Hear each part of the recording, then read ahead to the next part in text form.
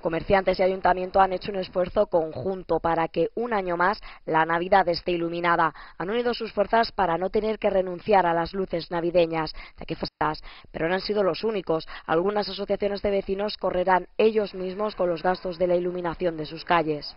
Y hay que, lógicamente, hacer un reconocimiento a todos los pequeños y medianos comercios, eh, también establecimientos de hostelería e incluso en algunos casos algunas comunidades de vecinos que han contribuido económicamente a la iluminación de algunas calles que no están en el contrato del ayuntamiento, que no están tampoco en el convenio del corte inglés, pero que finalmente se van a iluminar, como puede ser la avenida Isabel la Católica, la avenida Ramón Menéndez Pidal, un tramo de la calle El Tinte, la Plaza San José, un tramo de la, de la avenida de Julio, de Julio Carrilero, un tramo de la calle El Rosario, otro tramo de Dionisio Guardiola, eh, una parte también de la calle de la calle Caldereros. Aunque estas luces no van destinadas solamente a los albaceteños, los vecinos de los pueblos que son limítrofes con la ciudad de Cuenca y de Ciudad Real también hacen sus compras navideñas en el centro de Albacete.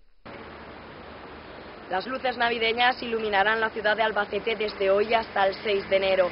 Se encenderán a las 6 de la tarde y estarán encendidas hasta las 10 de la noche. A partir del 23 de diciembre quedarán encendidas hasta las 12 de la noche, algo que los comerciantes agradecen ya que consideran que esto va a motivar a sus clientes a hacer sus compras navideñas.